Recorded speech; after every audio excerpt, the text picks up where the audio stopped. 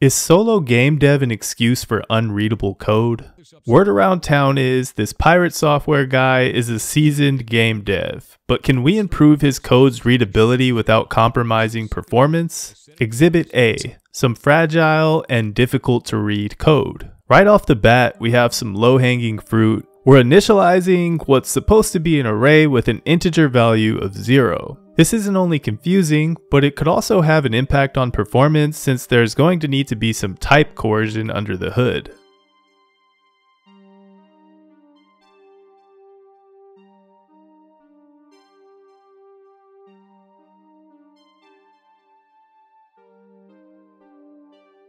The standard way to initialize an empty array would be like this.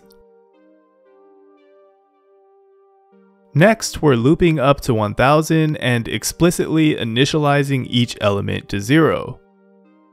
So 999 elements in the array that are all set to 0. I couldn't see how far the file goes in the VOD, but it looks like he's also redundantly explicitly setting each element in the array line by line below the loop.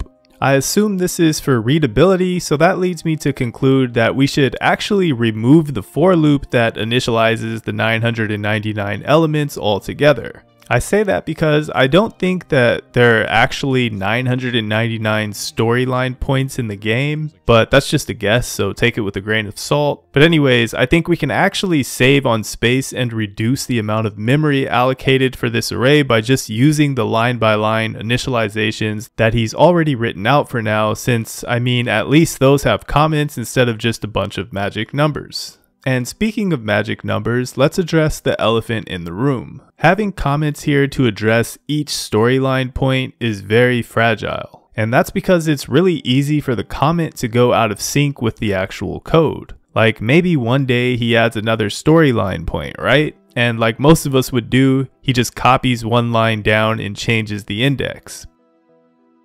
But wait, he copied the comment too, but he didn't notice and just left it. In a case like that, we would have two indexes with the same comment, and which one is actually being described by the comment would be anybody's guess at that point. Now, I get it, we don't want to just juggle around this large array with long character sequences or strings, but that's actually what enums are for. And yes, I say enums, I can't help it, let's just move on. An enum allows us to use words as identifiers in our code, but under the hood, these identifiers actually correspond to constant integer values. So actually, we keep all of the benefits of using integers, but we also get two very useful bonuses of being able to write out descriptive identifiers as well as immutability. So what I would actually do here is I would create an enum and name it something like game state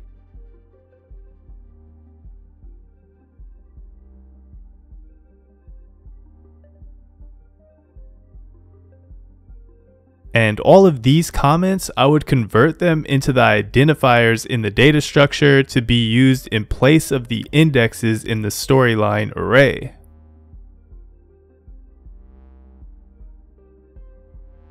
Then to improve readability even further, I changed the name of storyline array to game state array. And for the actual values of each state, for example, light switch burn state, if they're binary states, like light switch state on off or yes no or burnt unburnt. I wouldn't even bother saying for example burnt unburnt. I'd just change the name from light switch burn state to light switch burnt.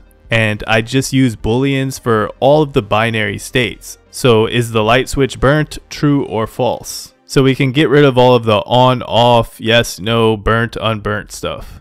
Then for the non-binary states, ones that could potentially have more than two options, I'd create a separate enum for those. For example, Lore's clothing would be its own enum, and then we'd have pajamas or sweater. And of course, for this category, I assume that it'll be extended in the future, for example, underwear. So it's not necessarily a binary state.